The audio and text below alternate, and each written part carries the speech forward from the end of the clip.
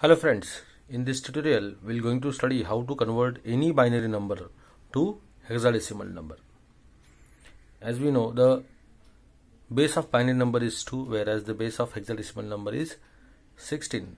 So we are going to convert base 2 number to base 16 number.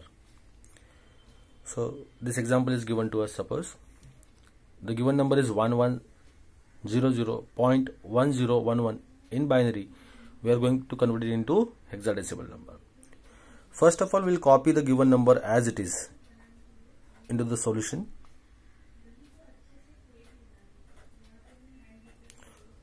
we need to form a group of four binary bits and we have to write the hexadecimal equivalent for that particular group to obtain our hexadecimal number.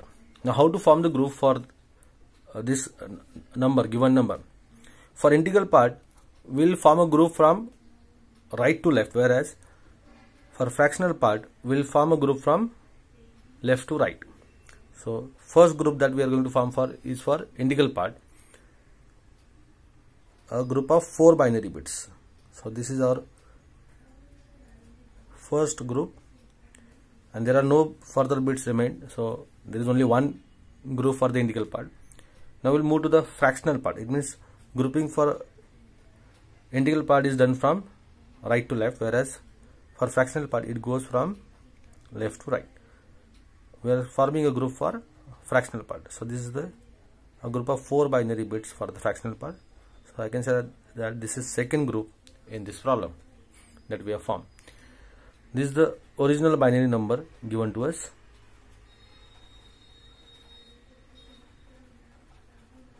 Okay and these are the groups of four binary bits.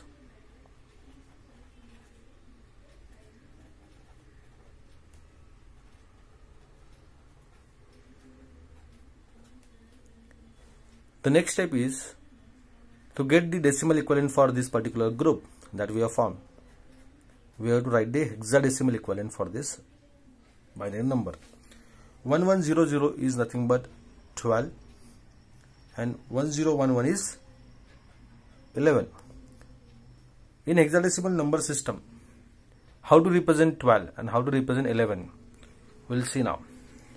In hexadecimal number there are total valid numbers are total 16 0 to 9 digits. 10 is represented by capital A. 11 is represented by capital B, 12 is represented by capital C, 13 is capital D, 14 is equals to capital E and 15 is equals to capital F. Now what is this 12? 12 is C. So we can write this as a alphabet C hexadecimal equivalent for this 12. Similarly for 11 it is B so we obtained this hexadecimal equivalent for these groups. Therefore, we can say that 1100.1011 in binary is equals to C point B to the base 16 in hexadecimal or it is also written as C point B capital H which represent hexadecimal. So this way we can convert convert any given binary number to hexadecimal. So this is the process that we are going to follow to convert any hexadecimal number to sorry any binary number to hexadecimal number. Thank you